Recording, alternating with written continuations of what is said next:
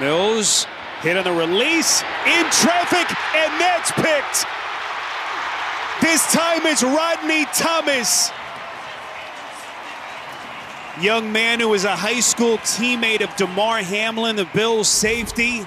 There he is by the three, standing by the three. Rodney Thomas honoring his high school teammate.